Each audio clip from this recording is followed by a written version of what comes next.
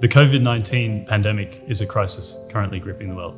We here at the University of Melbourne are working on many solutions to try and help hospitals in their fight against the virus.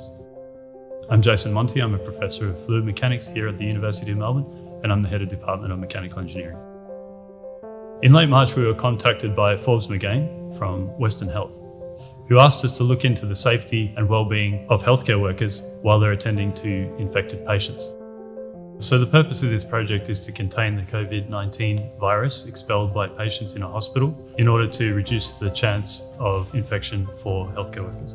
A healthcare worker treating patients is highly exposed to the virus in a normal hospital environment. In Spain and Italy, we're seeing infection rates in healthcare workers of 15%, which is extremely high and it reduces the capacity to care for the infected. So after weighing up the complexities of the problem, we designed a personal ventilation hood. It's primarily for containment of the larger droplets that we expel when we sneeze or cough, but also has a ventilation system that will carry away the smaller droplets. So this creates a barrier between the patient and the healthcare worker primarily. This will allow the healthcare worker to carry out tasks such as asking the patient how they are, taking blood pressure, for example, with a lower risk of infection because they have that barrier between them.